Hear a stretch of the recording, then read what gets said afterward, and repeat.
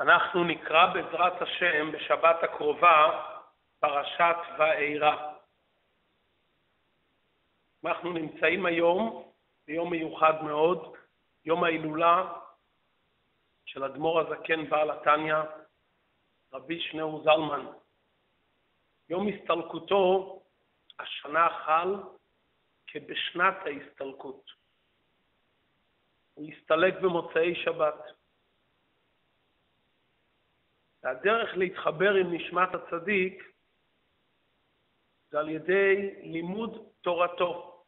כידוע שצדיקים דומים לבורם, וכשם שהקדוש ברוך הוא שם את עצמו בתורתו, אנוכי השם אלוקיך, אנוכי ראשי תיבות, ענה נפשי כתביתי אבית, אני את נפשי כתבתי ונתתי, כך גם הצדיקים שמו את עצמם בדברי תורתם. יהבית, יהבית בארמית זה נתתי. אין דבר יותר מתאים היום מאשר ללמוד איזה קטע מדברי האדמו"ר הזקן על פרשת השבוע, ובזה אנחנו נתאחד עם אדמו"ר הזקן.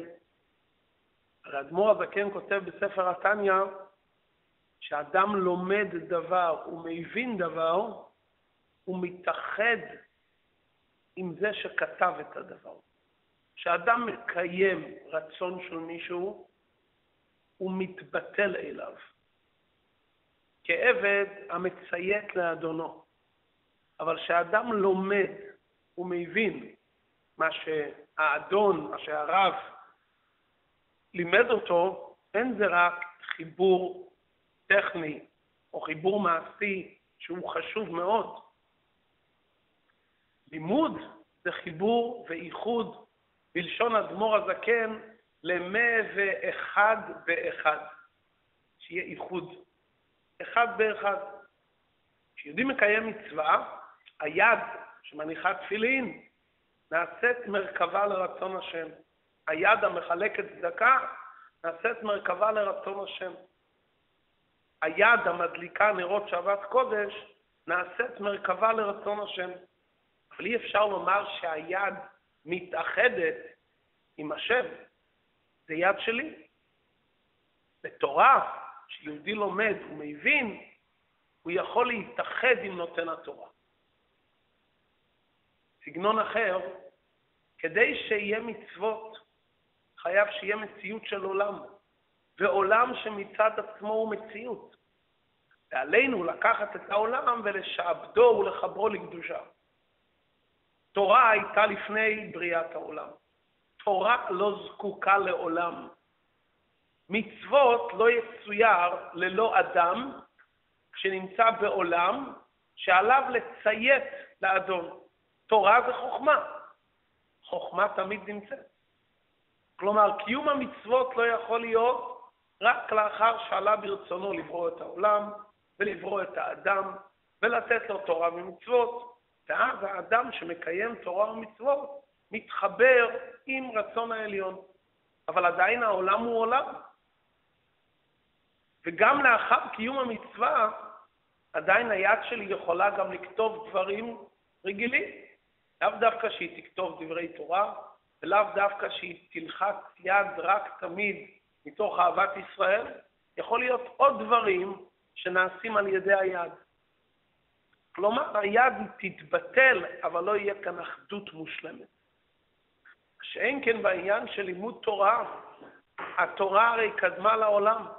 אלפיים שנה קדמה תורה לעולם. כלומר, עוד לפני שהשם נתן לנו, ברא את העולם, החוכמה הייתה, כי הוא וחוכמתו אחד. ולכן כשלומדים תורה, תלמוד תורה כנגד כולם, יש כאן התאחדות עם נותן התורה, ובענייננו, שלומדים את תורת אדמו"ר הזקן, מתאחדים איתו. פרשת השבוע נאמר במענה לטענה של משה רבינו, למה הרעות על העם הזה, למה זה שלחתני וכולי, אומר הקדוש ברוך הוא למשה, וירא אל אברהם, יצחק וליעקב, בקל ש"ד י', ושמי השם לא נודעתי להם. אתה שואל מה המטרה של גלות מצרים? גלות מצרים זה הכנה לגילוי שם הוויה.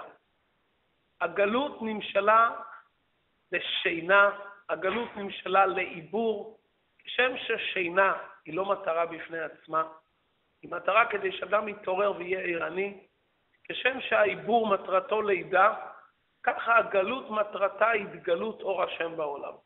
מתי זה היה? בשעת מתן תורה. הקדוש ברוך הוא התגלה, וירד השם על הר סיני. גם הגלות שאנחנו נמצאים בה עכשיו, גם היא לא מטרה בפני עצמה. הגלות היא הכנה לגילוי שם הוויה. אפשר להבין שאם הגלות כל כך ארוכה וכל כך מורכבת וקשה, על כורכך הגילוי שיהיה לעתיד לבוא הוא בין ארוך. כי אם בשביל מתן תורה היה צריך להיות גלות 210 שנים, וכאן אנחנו נמצאים בגלות כבר יותר מ-1900 שנה, בוודאי שהגילוי שהולך להיות בקרוב הוא גילוי עצמי, אינסופי, כפי שנאמר בפסוק, הוא מלא הארץ דעה את השם כמים לים מכסים. להגיע למצב כזה של אל חזור, מצב שהולכים רק לכיוון החיובי וגילוי שם הוויה בעולם.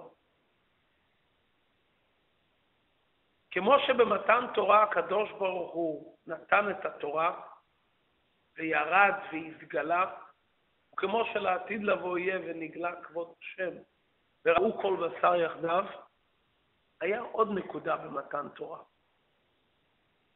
אנוכי השם אלוקיך. הקדוש ברוך הוא שם בנשמה של כל אחד מאיתנו את שם הוויה. אנוכי השם אלוקיך לשון יחיד.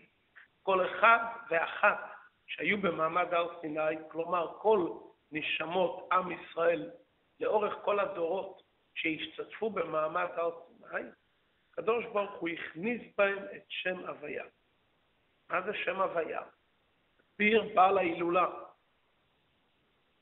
גם בספר התניא באיגרת התשובה, גם בליקוטי תורה כמה מקומות, שהקדוש ברוך הוא נתן לכל אחד מאיתנו את העשר הספירות לנשמתו.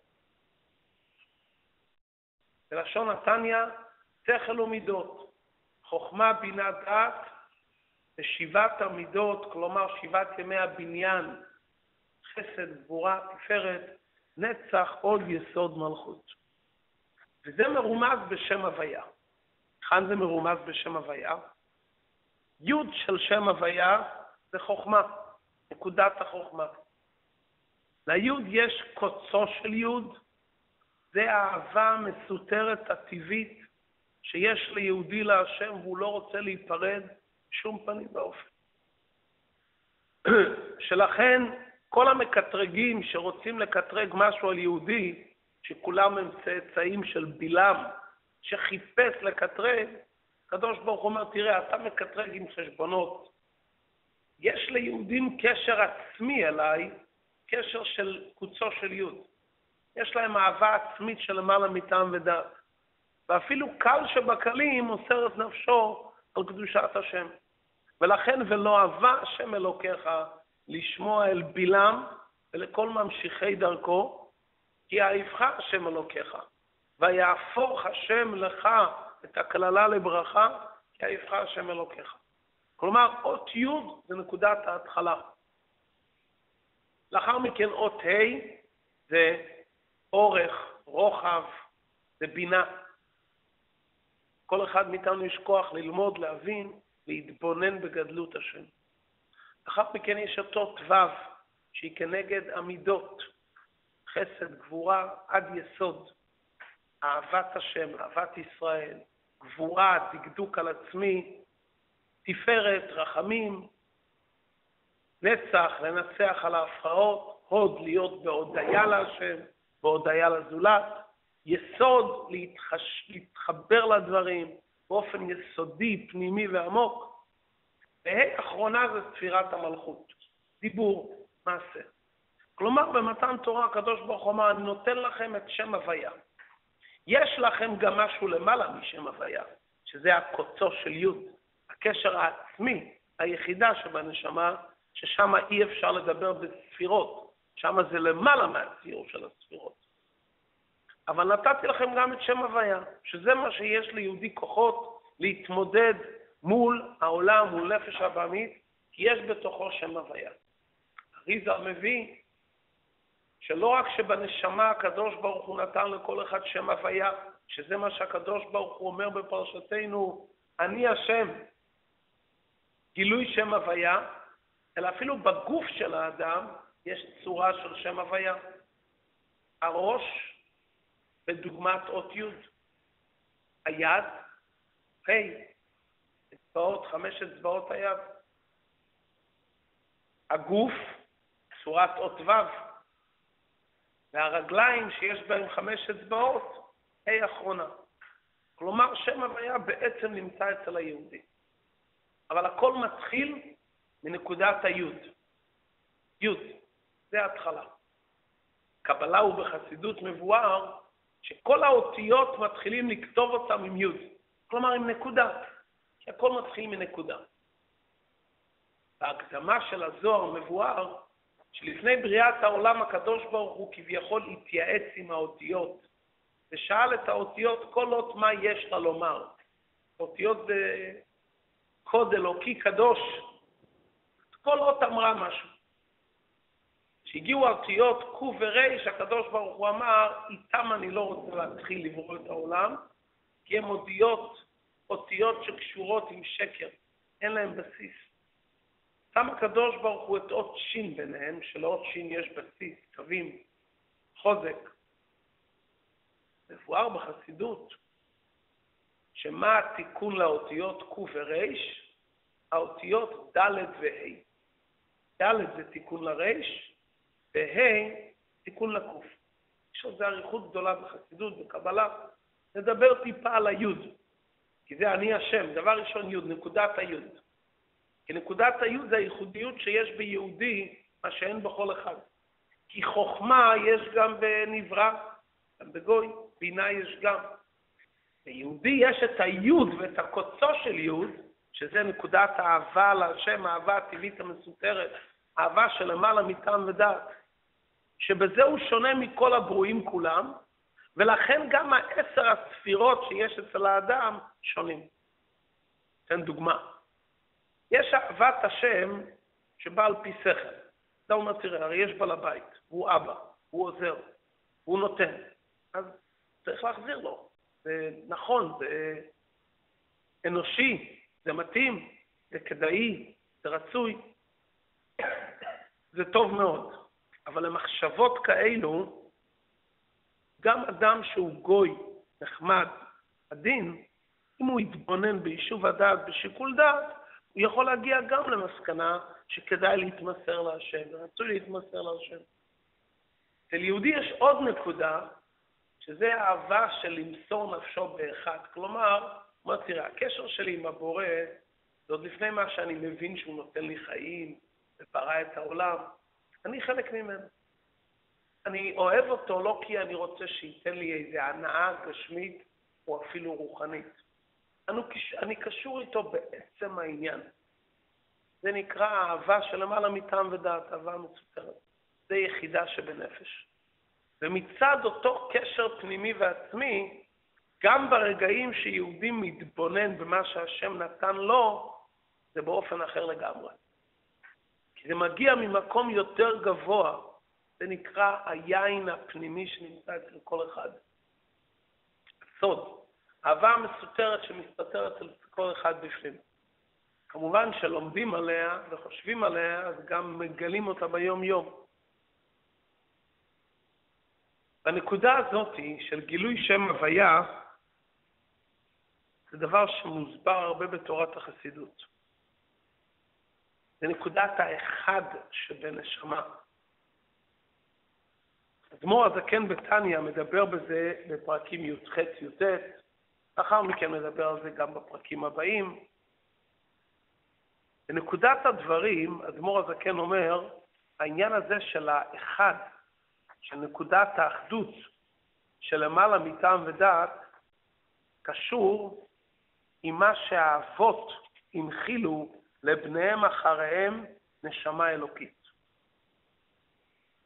והנשמה הזאת, יש לה קשר עצמי עם השם, כי היא חלק ממנו. השכל, אי אפשר לומר שהוא חלק, השכל הוא כוח מסוים. אבל הנשמה האלוקית ועצם הנשמה זה עניין עצמי שקיבלנו בזכות אבות העולם. מובא בגמרא שלפני פטירתו של יעקב אבינו, שהוא קרא לבניו, הוא רצה לברך אותם, נסתלקה ממנו שכינה. אמר יעקב, שמא יש איזה פסול בבניי, אולי מישהו לא בסדר.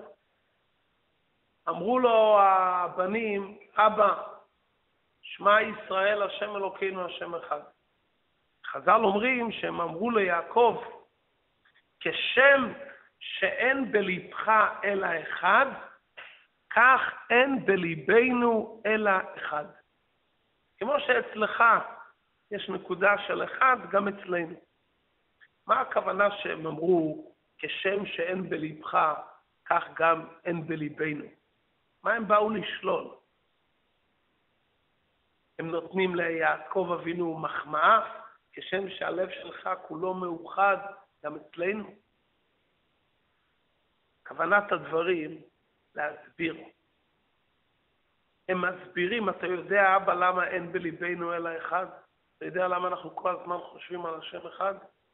למרות שאנחנו נמצאים בעולם הבריאה, בעולם היצירה, בעולמות בריאה, יצירה, עשייה, שזה עולמות נפרדים. שם לא מרגישים את אחדות השם. זה נקרא עולמות של עלמא דיפרודה. אין בליבנו אלא אחד, כי אנחנו קשורים איתך. ומכיוון שאנחנו קשורים איתך, ואצלך מאיר האחד בשלמות, אצלך מאיר הקוצו של יוד, לכן גם אנחנו, שנמצאים בדרגה יותר נמוכה, גם אנחנו חושבים על אחד. מה ההבדל בין דרגת יעקב לדרגת השבטים? מה ההבדל בין הדרגה של אז לדרגה של היום? יש עבודה שנקראת פנים בפנים, ויש עבודה שנקראת אחוריים. מה הכוונה?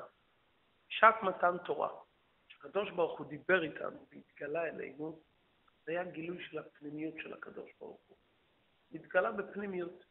ועם ישראל נמשך אחריו, פרחה נשמתן, אחרי שראו את הניסים. שם הוויה היה בהתגלות. וידעו מצרים כי אני השם. החצי שנה הזו, מתחילת המכות בפרשתנו, ועד יציאת מצרים ועד מתן תורה, היה גילוי שם הוויה. ראו אלוקות בגלות. כשיהודי רואה את הדברים הללו, זה מחבר אותו באופן פנימי. הפנים של האדם, העיניים, העיניים, מחשבה, היה חיבור פנימי. יש מצב של גלות. שבשעת הגלות הקדוש ברוך הוא לא נמצא בפנים. הישיב אחור ימינו. הקדוש ברוך הוא מסתכל על צדדים כביכול, ולא נותן לנו להרגיש את הפנימיות שלו. אדם צריך למצוא את זה, לחפש את זה. איך נקראת העבודה בזמן הגלות? לא פנים בפנים. עבודה בזמן הגלות נקראת אחרי השם אלוקיכם תלכו, אחרי. אני הולך בעקבותיו. אני לא רואה את הפנים שלו, אני לא רואה את הפנימיות, אני לא מרגיש את האור האלוקי ביום-יום, אבל כמו שאדם הולך אחרי מישהו, שהוא יודע שהוא הולך בדרך הנכונה, הוא רואה רק את הגב שלו, מחזיק חוט, אומר, אני קשור איתך ואני הולך אחריך. זה הרבה יותר קשה. אם הייתי רואה את הפנימיות שלו והייתי מרגיש אותו, הייתי הולך אחריו בשמחה. עכשיו אני צריך ללכת אחריו שאני לא מרגיש. השבטים אמרו ליעקב, יהיה גלות ארוכה. בגלות עם ישראל הולכים אחור. אבל יש מעלה מסוימת באחור שאין בפנים. כשיש גילוי של פנים בפנים, אז או שפרחה נשמתם, או שאתה נמצא כל הזמן בגילוי שם הוויה. כשאתה רואה את שם הוויה בעולם, או על ידי אותות ומופתים, או על ידי מתן תורה, או על ידי מים מבארה של מרים. ואתה רואה את הפנימיות של הקדוש ברוך הוא שופע. בניסים באותות ומופתים, ועל דרך זה גם המחשבה, שאתה מצליח להתחבר לזה במחשבתך, אז זה ברור שאתה הולך אחריו. הקדוש ברוך הוא משבח ואומר, לכתך אחריי במדבר בארץ לא זרועה. יש רגעים שאתה מרגיש מדבר. אתה הולך אחרי הקדוש ברוך הוא שזה שממה. אני לא רואה, זה לא עובד לפי שרציתי. הקדוש ברוך אומר, העבודה הזאת שאתה הולך אחריי, שהמצב הוא אחור, שאתה לא מרגיש את הגילוי של שם הוויה, יש בזה מעלה נפלאה. השבטים אומרים ליעקב, אבא, אנחנו זוכרים אותך, את הפנימיות שלך. זוכרים איך אתה תמיד עם הקדוש ברוך הוא פנים בפנים. אנחנו לא נמצאים בדרגה שלך. אבל השבטים היו בדרגה גבוהה בבריאה, אבל לא בדרגה של יעקב. אנחנו הרי נמצאים לא בבריאה, בעולם העשייה הגשמית. אבל מכיוון שאנחנו קשורים עם יעקב והשבטים, יש בתוכנו את האחד. כשם שאין בלבך אלא אחד, כך אין בליבנו אלא אחד. זה מזכיר לנו את התפילה שאומרים בערב שבת, בהרבה קהילות, אחרי מזמור שיר ליום השבת, אומרים קטע מהזוהר הקדוש, שמתחיל במילים כגבנה ואינון מתייחדין לעילה, ופחי התייחדת לטאטה. תרגום הדברים, הזוהר הקדוש אומר, כמו שלמעלה ביום השבת כולם מאוחדים עם השם, אין פירוט. שבת זה יום של אחדות. כל אחד, כל המלאכים, כולם רואים נקודה אחת. וכל העולמות מאוחדים, אז גם כאן למטה בשבת זה יום של אחדות. לכן עם הארץ לא משקר בשבת. אתה יכול לאכול אם הוא אומר לך שזה כשר. כי שבת משרה אווירה של קדושה בעולם. מה מאיר בשבת? שבת לא מאיר העשר ספירות. לא מאיר חוכמה, בינה, מאיר הקוצו של יוד. מאיר משהו שלמעלה מהעולם. כי בשבת הקדוש ברוך הוא לא אמר מאמרות. עשרה מאמרות זה עשר הספירות. בשבת הקדוש ברוך הוא שבת מעשר הספירות. מה מאיר בעולם? הקוצו של יוד. מה מאיר אצל יהודי בשבת? הקוצו של יוד. אהבה טבעית להשם. אצל כל אדם שנכנס לאווירה של שבת, הוא מרגיש אהבה אחרת להשם. קשר אחר. אז הזוהר הקדוש אומר, כמו שבעולמות העליונים שבת יש אחדות, ככה גם בעולם שלנו יש אחדות. אבל הזוהר אומר כגוונה, כאין. למעלה זה מורגש בגלוי, שם זה התגלות אור השם בשבת, אחדות מוחלטת. אצלנו זה כאין מה שקורה למעלה. השבטים אומרים ליעקב, אבא, מכיוון שאנחנו קשורים איתך, ואצלך בלבך אין אחד, אצלך רק אחד, כל הזמן חושב על אחדות השם. מה זה אחדות השם? שאין רגע בחיים שאתה לא קשור עם הכוונה העליונה. לא שהשם אחד, אלא כפי תורת הבעל שם טוב, שנתבהרה בספר התניא באריכות, שהכוונה השם אחד שהוא מאחד את כל ההוויה, את המקום ואת הזמן ואת האנשים. באיזה מקום, באיזה זמן, עם אתה, עם איפה שאתה נמצא, אני חלק מאחדות השם. לא יוצא החוצה מאחדות השם. אצל יעקב אבינו זה היה בהתגלות, אצלנו זה בדרגה יותר נמוכה. בלשון החסידות זה נקרא ייחוד התתאה וייחוד ההילאה. אצל האבות זה היה ייחוד ההילאה בעולם האצילות. איך נקרא עולם האצילות? עולם האחדות. שם השם הוויה מאיר בהתגלות. שם מאיר י' וה', הכל בהתגלות. בעולם שלנו בקושי מאיר ה', מלכות, וגם זה אנחנו לא רואים. זמן של החור. אבל ברגע שאתה מתחבר עם אלו שנמצאים בבחינת פנים, זה עוזר לך להמשיך את השם אחד בעולם. עד כאן דברי אדמו"ר הזקן. פעם שהרבי דיבר על הנושא הזה, על גילוי שם הוויה הנאמר בפרשתנו, אנוכי השם אלוקיך, נו, הכל טוב ויפה. יש לנו שם הוויה בנשמה, ויש קוצו של יוד, אבל האדם אומר, תשמע, אני מרגיש רק אחור, לא מרגיש את הפנים. אני נמצא בעולמות בריאה, יצירה, עשייה. אני לא נמצא בעולם האצילות שזה אצלו וסמוך. אני חי בעולם שהזוהר הקדוש אומר, עלמא דפרודה, משם ייפרד. עולם נפרד. אתה דורש ממני שאני אעבוד את השם ויהיה קשור עם פנימיות. הלוואי שאני אעבוד את השם באחוריים, כלומר, ללכת בעקבותיו, אחרי השם אלוקיכם תלכו. אתה אומר לי שאין אצלי גילוי שם הוויה. וכל ההנהגה האלוקית בעולם זה אחור.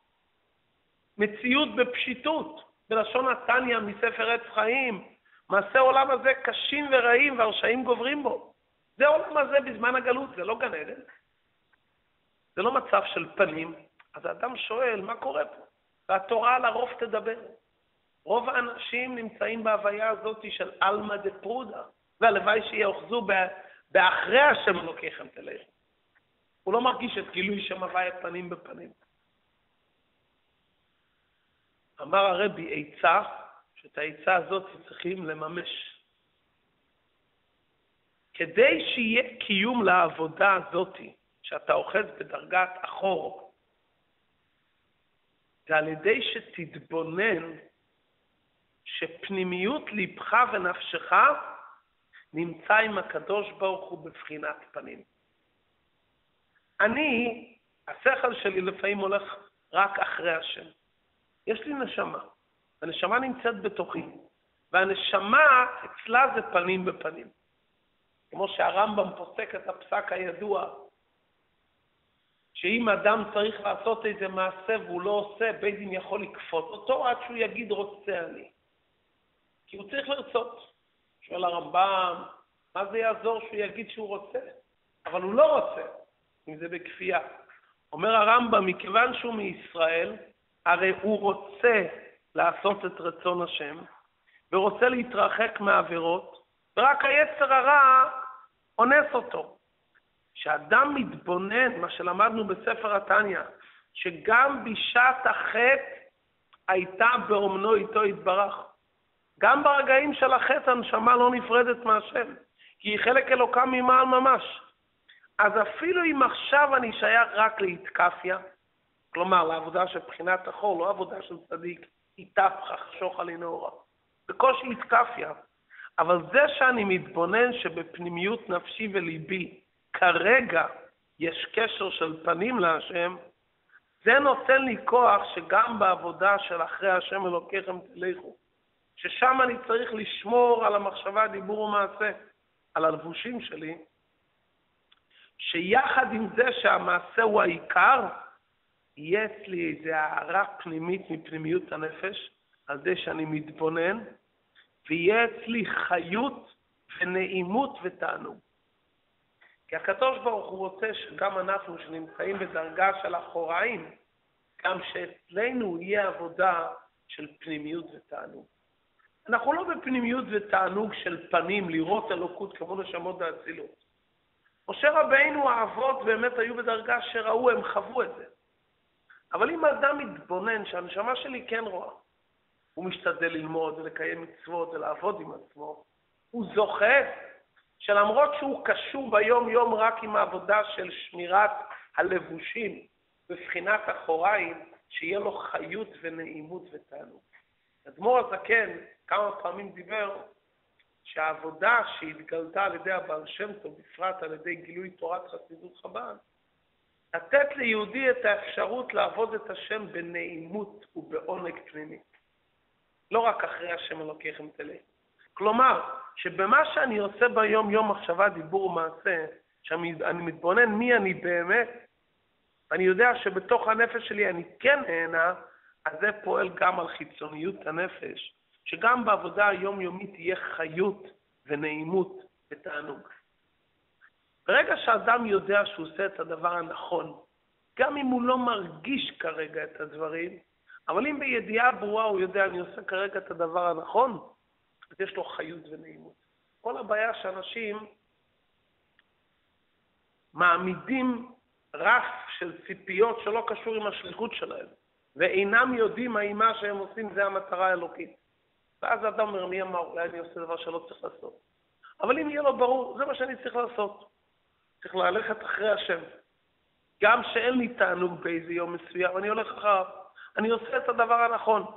ברגע שאדם יודע שהוא עושה את הדבר הנכון, הוא יודע שפנימיות נפשו וליבו כן מאיר אני השם, שמה כן מאיר האנוכי השם אלוקיך, זה עוזר לו שגם בדרגה של אחרי השם אלוקיכם תלכו, יורגש חיות ונעימות שקשורה עם פנים, ופנים דיבר השם עמכם.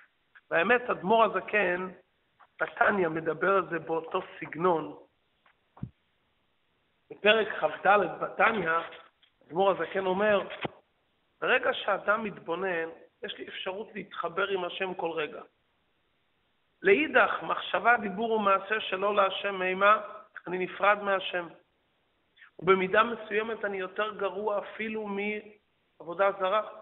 כי עבודה זרה בדרך כלל הם אומרים אלוקה ואלוקיה. כלומר, לנו יש כוחות, אבל קיבלנו כוחות מהבורא.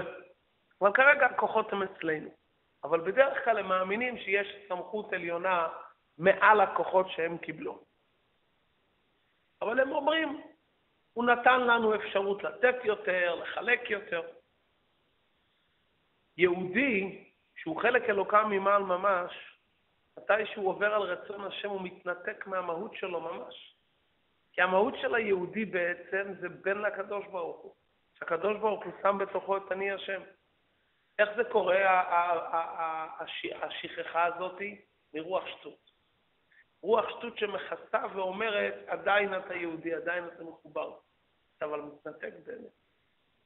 רוח שטות באה מרוב שיקוע, שקיעה בענייני עולם הזה המיותרים.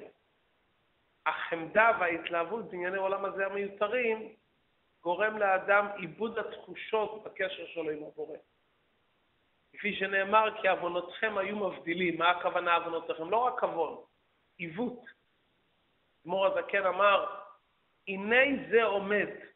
הקדוש ברוך הוא עומד ליד כל אחד, בתוך כל אחד, בפנימיות של כל אחד. שואל האדם, אחר? למה אני לא מרגיש את זה? נראה לי הכל אחוריי, כותלנו, שם את הכותל. תשבור את הכותל, תשים חלון בכותל, ואז תראה שהוא מיציץ מן החרקים. גם ביום של תקופת תמוז, אם אדם נמצא בחדר סגור עם מזגן בלי חלונות, הוא יכול לדמיין שקר, ובאמת קר לו. הוא יכול להגיד, אני לא רואה שום דבר מאור השמש. אבל השמש בוערת בחוץ, אבל הוא בחדר ממש סגור, בלי חלונות, עם מזגן טוב. אני לא יודע אם זה יום, או זה לילה, או זה תמוז או טבת. זאת אומרת, הקדוש ברוך הוא נמצא בהתגלות בעולם.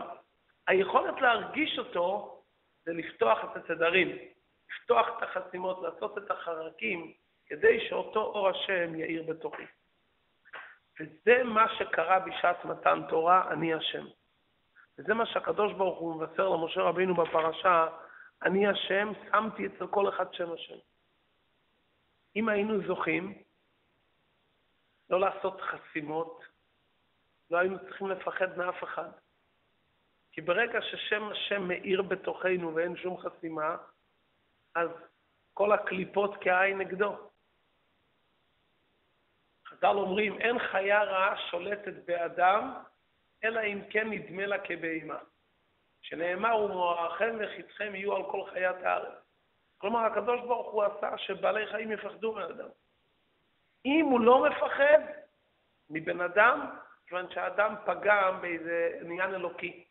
אז הבעל חי לא רואה הבדל בינו לבין בעל חי. אז בעל חי מותר לו הרי לטרוף. זה חלק מהקיום שלהם. אז ברגע שהוא מסתכל על בן אדם ורואה שהוא בעל חי, הוא יכול לגוע בו. אבל ברגע שאדם שומר על השם הוויה שבתוכו, כמו שמסופר על צדיקים שהם לא פגמו בשום דבר, יכלו לרכוב על אריה ולא פחדו מאף אחד. דניאל בגובה אריות וכולי וכולי. זה הרי הסיבה שיוסף היה בבור בהתחלה, כי ראובן אמר, בבור יש נחשים, אם הוא צדיק לא ייגעו בו. ככה היה באמת. כלומר, ברגע שהצלם האלוקי נשאר עליך, אני הוויה, אז אתה, אתה מוגן מכל הכיוונים. אבל מכיוון שאין צדיק אשר יעשה טוב ולא יחטא, אז לכן האדם צריך להתחבר כל הזמן, לחבר את האחור בפנים. הנקודה הזאת שעכשיו דיברנו, שיש פנים ואחור, תורת החסידות מבואר, פנים זה התגלות אור השם מלפני הצמצום. אחור זה התגלות אור השם אחר הצמצום. נשמות מעולם האצילות הן בבחינת פנים. נשמות שנמצאים מעולמות בריאה, יצירה, עשייה הם אחור. בתורה עצמה, יש פנימיות התורה, חלק הגלוי שבתורה.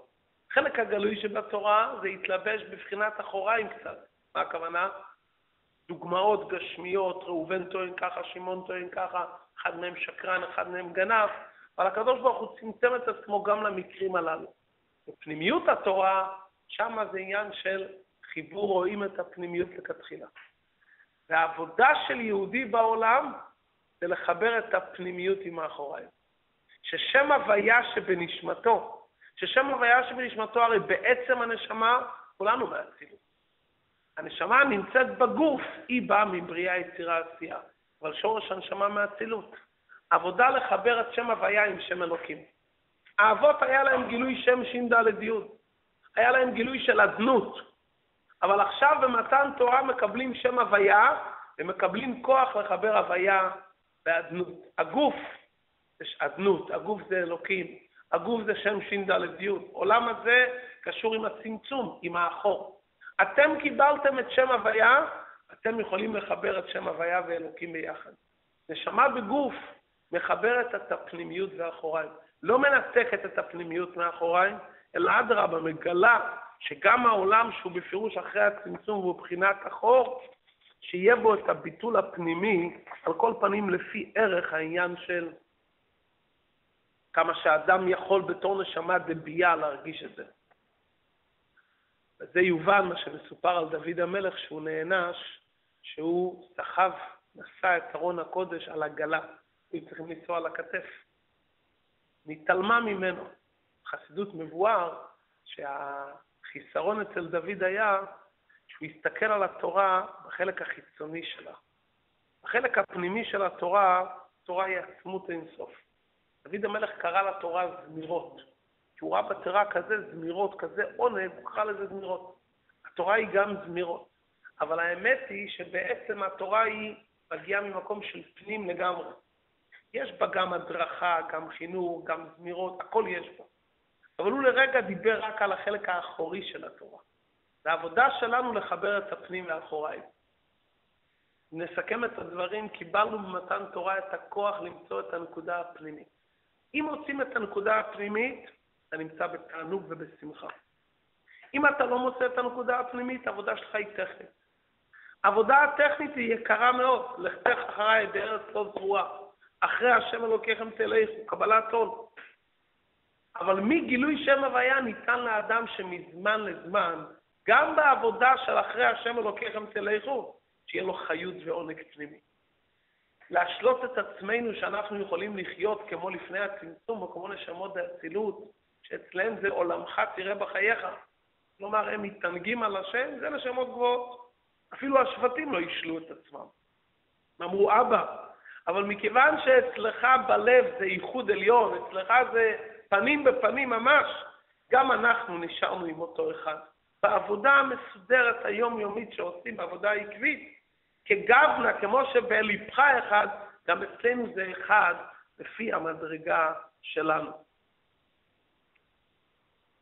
בחסידות מבואר שהנקודה הזאת של חיבור פנים ואחור, זה מתחיל גילוי הדברים על ידי לימוד פנימיות התורה. פנימיות התורה קשורה עם הפנימיות של האדם, ואז זה מביא אותו לעובדהו בלבב שלם, שהפנימיות של התורה מביא אותו לעבודה של עונג, ואז גם בזמן שהוא חי ביום-יום, תמיד הוא נזכר בצנות. שלכן עיקר העבודה מאז הבעל שם טוב זה עניין של עבודת השם בשמחה. לשון הפסוק, כיבס ביין לבושו. את הלבושים של תורה ומצוות שיהיו מלאים יין, שמחה. לבושים זה תורה, צריך לכבס את זה עם יין, עם שמחה. כי זה מראה שאתה עושה את העבודה אחור. אני אדם פשוט, אני לא נפגש עם מלאכים, אבל זה מחובר לפנימיות. יש פה חיות, נעימות, תענוג, שמחה.